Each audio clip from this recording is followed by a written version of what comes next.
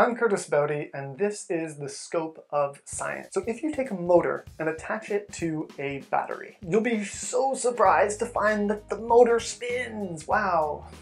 But not, you probably won't actually be surprised. But if you take a light bulb or an LED and attach it to that same motor in a circuit, it actually does light up that light bulb when you spin the motor.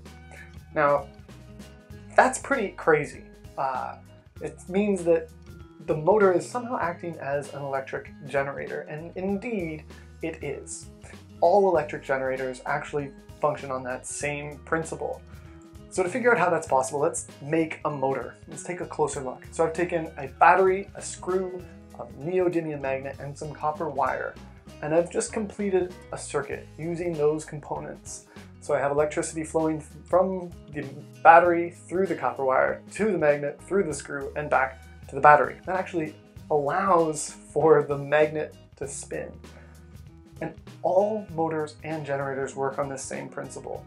It's actually how we generate all electricity and it's how all electric motors work. And it's from this principle called electromagnetism. And so Electricity is the flow of electrons, and magnetism is a field generated by the position of electrons and their charges.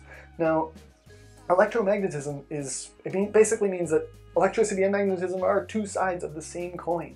It's the reason why a motor can be a generator and vice versa. It's one of the four fundamental forces of nature. If you've liked this video, I hope you consider liking this video. You can click here to subscribe if you would like to see more from the scope of science, and thank you for watching.